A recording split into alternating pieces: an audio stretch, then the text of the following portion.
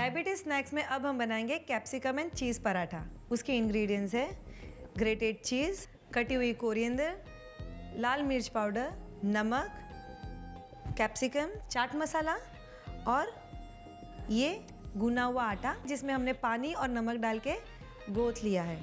इसे हमें 20 मिनट तक भीगे हुए कपड़े में ढक के रखना है। एक बॉल में अब हम ग्रेटेड चीज़ डालेंगे।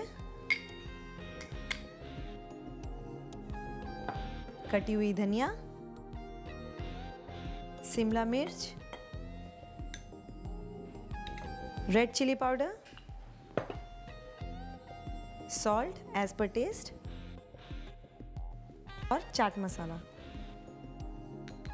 इसे हम मिक्स करेंगे।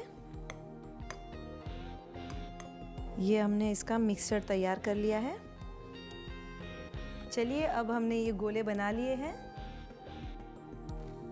इसे हम थोड़ा सा बेल लेंगे।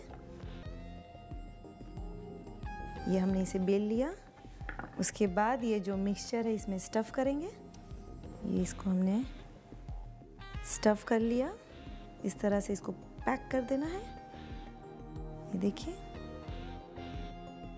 इस पर हल्का सा आटा छिड़क के इसे हम बेल लेंगे। ये हमने इसे बेल लिया है और इसे अब हमने पैन में डाल दिया है। ये देखिए, एक तरफ़ से कुक हो जाने के बाद इसे पलट देना है।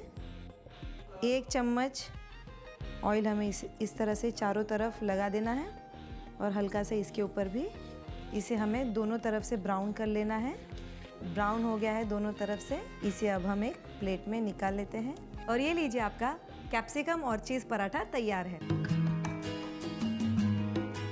कैप्सिकम और चीज़ पराठा बनाने के लिए एक बॉल में हम कैप्सिकम, चीज़, कटी हुई धनिया, रेड चिली पाउडर सॉल्ट और चाट मसाला डाल के उसका मिश्रण बना लेंगे। उसके बाद हम गेहूँ का आटा, उसके छोटे छोटे गोले बना के उसमें ये मिश्रण स्टफ़ करके हम इसे एक चम्मच ऑयल के साथ इसे हम सेकेंगे। कैप्सिकम और चीज़ पराठा तैयार है।